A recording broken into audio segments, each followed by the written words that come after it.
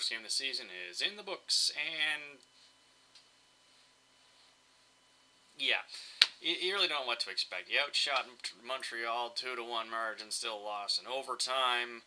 You know, uh, Toskala didn't get worked too much, let in some goals, but not some really bad ones, to be perfectly honest with you, and actually, you know, saved the game at the uh, about two and a half minutes left there.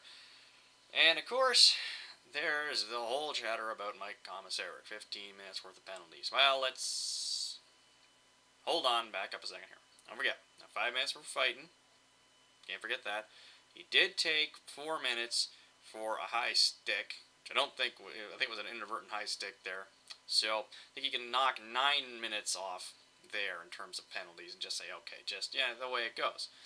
The other ones, not so much. Although I will say this, I, I have figured out uh, Bob Gainey's evil plan, and, the basic idea is to basically put as many Smurfs as he can up front, so they draw 200 elbowing and roughing penalties a year when every other player in the NHL is about a foot taller than they are, runs them over when they're just trying to throw a hip check.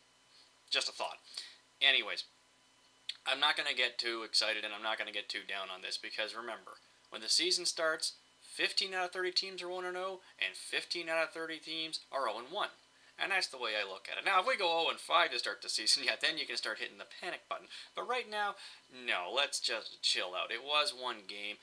I think the nerves were there. We had guys who were obviously trying to make some kind of a statement, and I think they tried a little too hard, and that's where the trouble started. Oh, Montreal, if you're going to live and die by your power play, enjoy eighth spot. That is if you make the playoffs at all, because we've seen this song and dance from you before.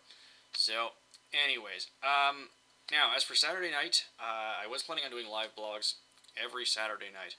I'm not going to be doing that this Saturday because I'm actually going to be out proposing to my girlfriend.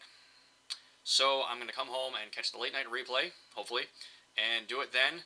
So maybe Sunday morning I'll have something, maybe Sunday afternoon, maybe Monday, I don't know, depends on how things go. Uh, so, just my quick thoughts. I gotta go now. Talk to you whenever.